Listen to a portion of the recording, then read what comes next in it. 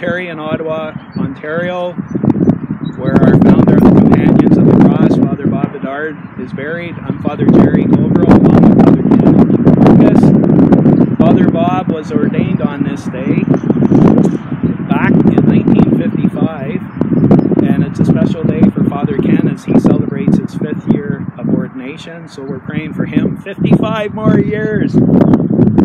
Also Deacon Marcus was going to be ordained on this day. However, due to the COVID 19, the coronavirus, a lot of things have been rescheduled. So Deacon Marcus will now be ordained on the beautiful solemnity of the Assumption of our Blessed Mother, August 15th. So we're happy for him, we're happy for Father Ken and, and all the companions, and we ask you to uh, please pray for Father Ken today and Deacon Marcus that the good Lord will continue this good work he has begun in him. And we, we thank you all for your prayers and we love you.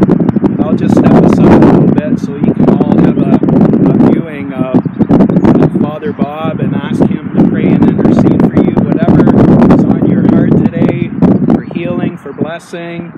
And I just encourage all of you to keep surrendering everything to the Lord Jesus, to invite him into your heart.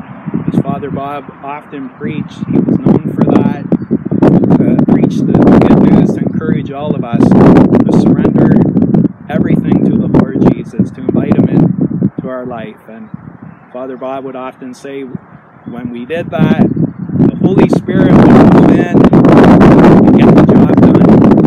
Amen. Thank you, Father Jerry. And uh, yeah, so maybe it's just some uh, famous quotes from Father Bob. Uh, the most famous is the God to give God. Also, uh, he would also teach people who haven't encountered the Lord, and he would teach his prayer, Lord, you're real, show. Uh, another famous quote of Father Bob is, um, "I'm I'm not ready, but willing." Uh, so that's another famous quote. And uh, he would always really stress the importance of obedience. He says that nothing else in the world is more important than doing the will of God. You know, so so it's an, encouragement uh, for all of us. Also, uh, I'll, I'll show you the uh, uh, the, the favorite uh, scripture passage